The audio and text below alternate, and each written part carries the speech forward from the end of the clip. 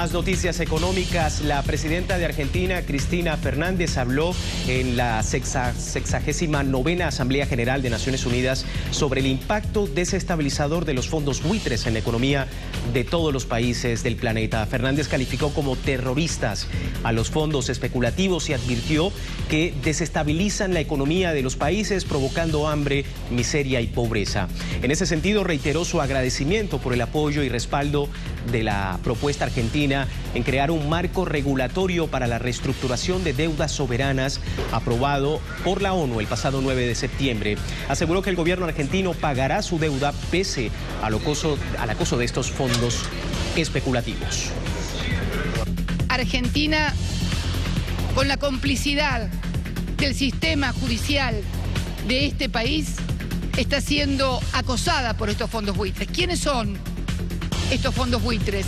El 1% de los que no entraron a la reestructuración que hicimos en el 2005.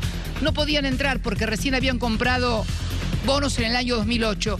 Ustedes saben, son fondos que se especializan, su nombre así lo indica, en comprar fondos o títulos de países que han defaulteado su deuda o están próximos a hacerlo para luego no ir a reclamárselos al país, sino entablar juicios en distintas jurisdicciones y obtener así ganancias exorbitantes.